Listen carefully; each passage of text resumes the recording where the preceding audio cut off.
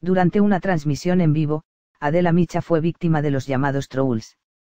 La conductora recibió a Daniel Sosa, uno de sus invitados. Luego de realizar una pequeña entrevista, la presentadora comenzó a leer los saludos, uno de ellos dirigido a Elba Ginnon.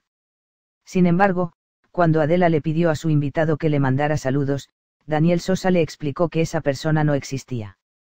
Instantes después, Adela Micha no pudo contener la risa y salió de cuadro.